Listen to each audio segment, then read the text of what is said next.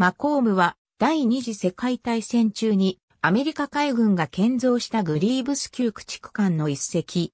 艦名はウィリアム H. マコーム提督及びデイビッド B. マコーム提督にちなむ。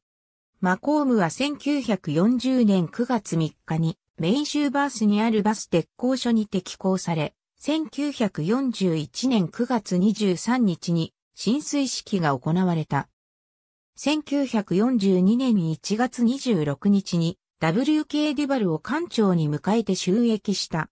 大西洋収益後のマコームは大西洋で船団護衛の任務に当たった。1944年4月20日、マコームは地中海へ移動し、アルジェリア沖で対潜水艦任務を遂行した。5月18日、マコームは72時間に及ぶ潜水艦追跡を開始し、独潜水艦 U-616 を撃沈した。1944年8月中旬に南フランスへの侵攻に参加した後の11月15日に第20水雷隊に編入され、また高速層海底に艦種変更が行われた。太平洋第20水雷隊は太平洋戦線での作戦に参加するべく1945年1月3日に出港した。3月24日、沖縄沖に到達し、侵攻に先駆けた総会を行った。その後は海岸周辺や港湾周辺に展開した小型層海底の支援にあたる。5月3日にマコームは神風特別攻撃隊の攻撃を受け、一機が命中した。サイパンで修理中に終戦となった。8月13日、マコームは日本へ向かう第3艦隊と合流し、8月29日に東京湾へ入港した。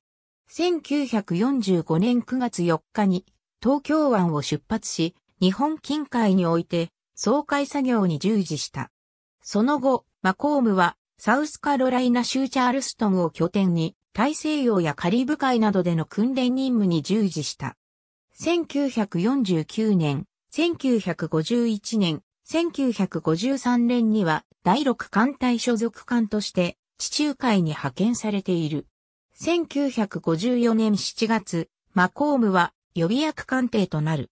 10月19日には、相互防衛援助法の下で、同型艦のエリソンと共に、日本政府に供与され、海上自衛隊において、朝風型護衛艦は高風として収益した。海上自衛隊への移籍にあたって、総海装備は撤去された。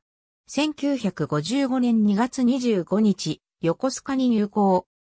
1969年10月15日、旗風は朝風と共にアメリカに返却された後、1970年8月6日に中華民国に売却され、座礁により失われた駆逐艦艦用の大艦として、艦名と艦番号をそのまま引き継いだ。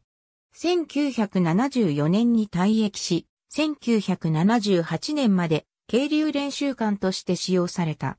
マコームは第二次世界大戦中の戦功から戦闘聖賞を5つ受賞している。